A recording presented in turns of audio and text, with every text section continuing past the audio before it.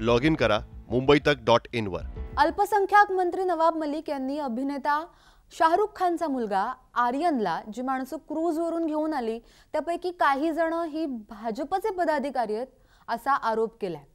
आणि N C बीने आर्यनला ताब्यात घेतल्यानंतर त्यांचे काही फोटो सुद्धा व्हायरल होत आहेत. त्यावरून एका कथित एन सी बी अधिकाऱ्याचा फोटो चर्चेत आहे.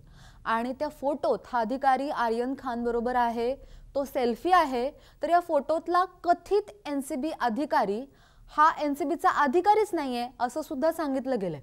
मग ही व्यक्ती नेमकी आहे कोण?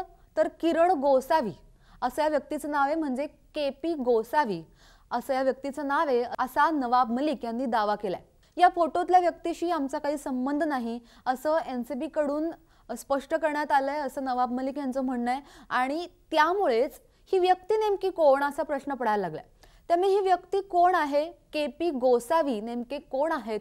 हेच जाणून घेणार आहोत.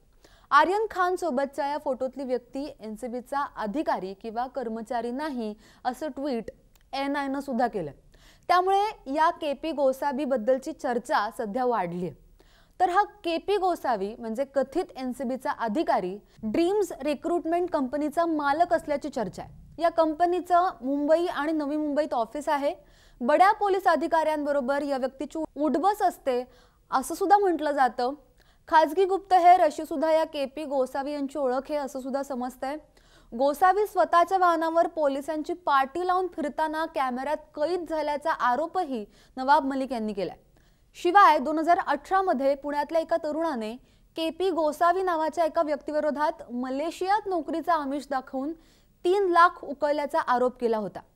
त्याच्या विरोधात दाखल केला होता आणि ती व्यक्ती हीच असल्याची सध्या चर्चा आहे. त्यामुळे आता हे के पी गोसावी नेमके आहेत कोण याबाबतचं गूढ आणखीनच वाढलं त्यामुळे या संदर्भातल्या ज्या काही अपडेट्स असतील ज्या येतील त्या तुमच्यापर्यंत मुंबई तकच्या माध्यमातून पोहोचवतच राहू. इतर अनेक विषयांवरच्या एक्सप्लेनरसाठी मुंबई तक पाहत राहा. हा व्हिडिओ कसा वाटला आमच्यापर्यंत अवश्य पोहोचवा. धन्यवाद. लॉग इन करा मुंबई तक डॉट इनवर